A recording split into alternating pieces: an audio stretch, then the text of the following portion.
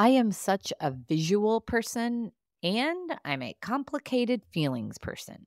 So when I saw this visual recently, it very much resonated.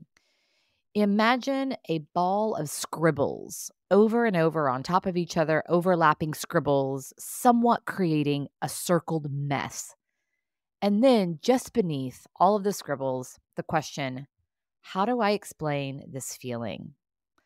It's so good because it's completely relatable and it's a great reminder to give ourselves and the people we're working with and leading a big old break.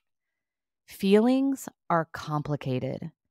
We can't expect ourselves or the people in our lives to easily answer the question, How are you feeling? Recently, in a tough conversation with my business partners, they asked me that question and I stumbled through a response but my answer really didn't reflect the magnitude or the depth of what I was feeling. And in that context, it didn't feel safe for me to share all of it. So I walked away feeling like I hadn't really shared how I was feeling.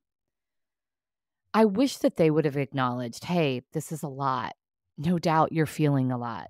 Let's circle back to break this down. Hey, we're here for you. But instead, they pressed me to have an answer an answer I didn't have. Similarly, in a tough team development session with an executive team recently, there was one particular team member who'd gotten a lot of feedback from his team about how he could be better. And I could see that he was shutting down. So I said to him, Hey, I know this is a lot. I suspect that you're processing a lot and that your brain is on overload. So the team is here for you. As your coach, I'm here for you. He didn't talk much the rest of the day, so I'm glad we have follow ups and next steps scheduled to give him the space to process and reflect. I couldn't expect him in that moment to come up with how he was feeling because it's complicated. So here's to grace today. You're complicated and your feelings are complicated.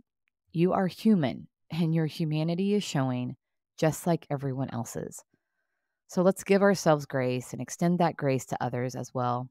What a great way to take care of yourself and each other.